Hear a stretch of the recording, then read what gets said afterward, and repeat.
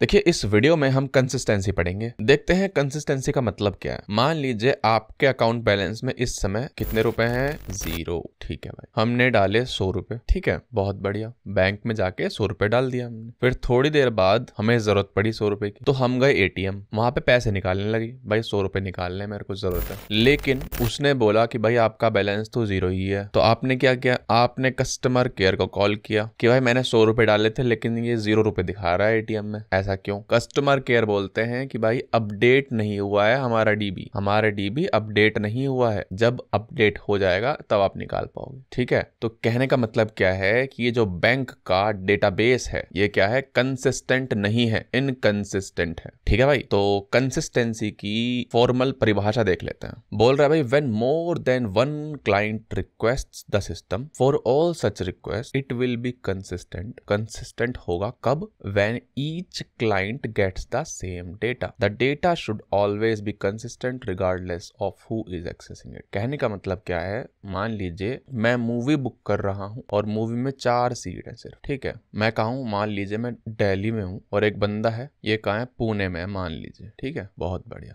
और थोड़ा डिसेंट्रलाइजेशन है। दिल्ली में जो बंदा है, वो दिल्ली के सर्वर से एक्सेस कर रहा है, पुणे में जो बंदा है, वो पुणे के सर्वर से एक्सेस कर रहा है। ठीक है। इसने ये सीट बुक कर ली है भाई। ठीक है। तुरंत ही तुरंत ही इस बंदे ने, पुणे वाले बंदे ने खोला और देखा इसने कि भाई चार सीट है कोई भी बुक नहीं है। इसने भी यही कर ली। समझ रहे हो? तो क्या है? डेटा इनकन्सिस्टेंट है। जैसे ही जैसे ही दिल्ली वाले बंदे ने टिकट बुक करी थी, तुरंत यहाँ पे रिफ्लेक्ट हो जानी चाहिए थी। क्योंकि डिसेंट्रलाइजेशन है थोड़ा सा। यहाँ पे अलग डीबी है, यहाँ पे अलग डीबी है तो ये क्या है, ये एक दूसरे से सिंक होने में टाइम लगेगा तो ये क्या है इनकंसिस्टेंसी हो गई है। बोल रहा है when more than one client request system और डिफरेंट क्लाइंट जो है डिफरेंट रेस्पॉन्स लेते हैं due to some recent update that has not been committed to all systems yet समझ रहे बात को? यानी कि दिल्ली वाले ने अपडेट कर दिया, लेकिन पुणे वाले में अपडेट नहीं हुआ है। तो उसको क्या बोलते हैं? जो पुणे वाला जो रीड कर रहा है, उसे बोलते हैं डर्टी रीड समझ रहे बात को? यानी कि गलत डेटा रीड कर रहा है वो। अब हम बात करें मोनोलिथिक की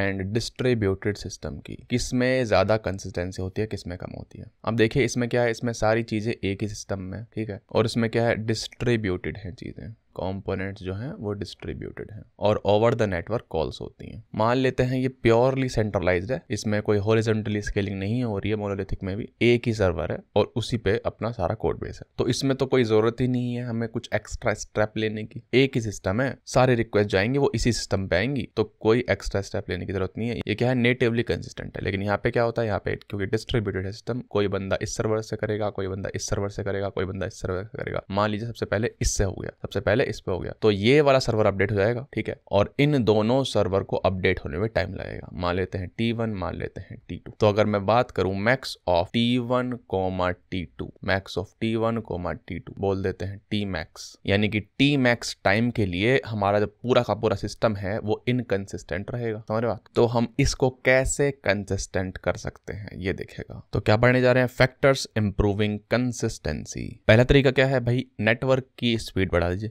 स्पीड बढ़ाने से जो सिंक्रोनाइजेशन है, वो जल्दी होगी। सिंपल सी बात है। दूसरा क्या है? स्टॉप द रीड ऑपरेशन जब तक सारे सर्वर्स अपडेट नहीं हो जाते, आप रीड को स्टॉप ही कर दीजिए। समझ रहे हो बात को? जैसे कोई सरकारी वेबसाइट्स होती हैं, ये करते हैं, जब सिस्टम अपडेट कर रहे होते हैं तो इस वेबसाइट को ही डाउन कर देते हैं, ठीक है? तीसरा तरीका क्या है? Replication based on distance aware strategies मतलब कि हमें पता होना चाहिए कि देखिए कि भाई, अगर सर्वर्स आस पास हैं एक दूसरे के तो वहाँ पे सिंक्रोनाइजेशन में हेल्प मिलेगी। तो जो आप रेप्लीकेशन कर रहे हैं सर्वर्स का, उनको पास पास रख लीजिए तो क्या क्या है भाई? Factors improving consistency read operation stop कर दीजिए। जब तक कि सारे सर्वर्स अपडेट नहीं हो जाते हैं नेटवर्क की स्पीड बढ़ा दीजिए और डिस्टेंस कम कर दीजिए बिटवीन रेप्लिकाज अब देखते हैं भाई टाइप्स ऑफ़ कंसिस्टेंसी पहला है स्ट्रॉन्ग कंसिस्टेंसी दूसरा है इवेंचुअल कंसिस्टेंसी एंड तीसरा है वीक कंसिस्टेंसी भाई स्ट्रॉन्ग कंसिस्टेंसी का मतलब क्या है? When the system does not allow any read operations until all the nodes with the replicated data are updated यानी कि जब तक सारे के सारे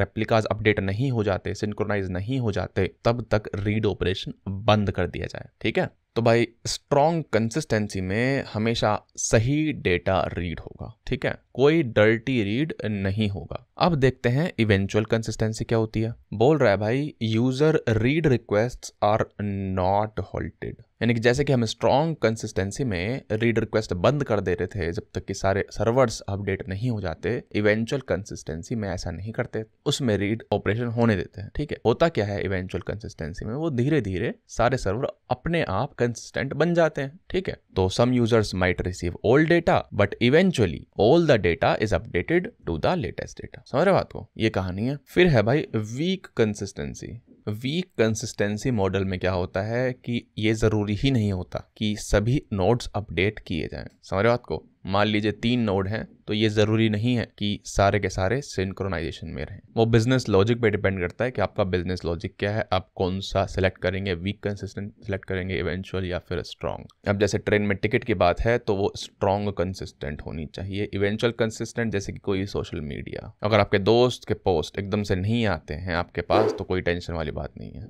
लेकिन अगर सेम टिकट दो बंदे बुक कर लेते हैं हाँ तो दिक्कत वाली बात है। तो देखिए, इस वीडियो में हमने कंसिस्टेंसी पढ़ी। कंसिस्टेंसी की डेफिनेशन देखी और देखा कि कंसिस्टेंसी कितने तरह की होती है। स्ट्रॉन्ग इवेंचुअल एंड वीक हमने देखा मोनोलिथिक एंड डिस्ट्रीब्यूटेड सिस्टम में कंसिस्टेंसी कैसे कैसे होती है, किसकी कम होती है, किसकी ज़्यादा होती है। हमने देखा फैक्टर्स इंप्रूविंग कंसिस्टेंसी